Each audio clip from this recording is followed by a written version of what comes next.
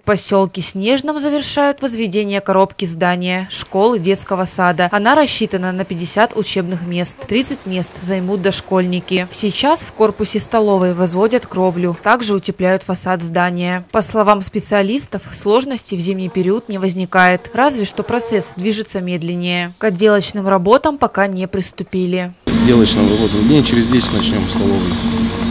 Начнем монтаж электрики после э, окончания э, работ по монтажу электропроводки приступим уже к отделке.